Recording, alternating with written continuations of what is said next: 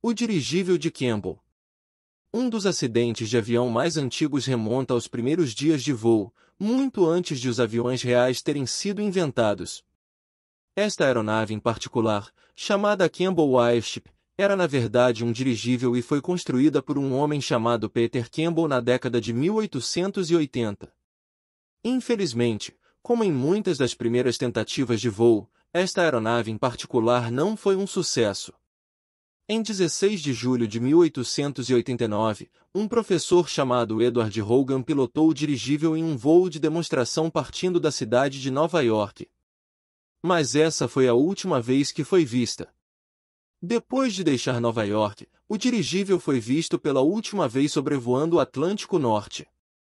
Embora os destroços nunca tenham sido encontrados, acredita-se que ele tenha caído perto de Atlantic City, em Nova Jersey, por volta das 17 horas e 30 devido a uma falha mecânica.